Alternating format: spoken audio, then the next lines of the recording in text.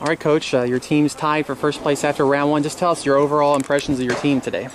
I think they fought hard. Um, they got a lot of great birdies out there, hit some wonderful shots. The greens are rolling really, really nice. So I think there's it's a challenging course. I think they handled it well. I think there's a couple holes out there that they would very much like to play a little bit better. And uh, hopefully tomorrow and the next couple of days we'll be able to do that.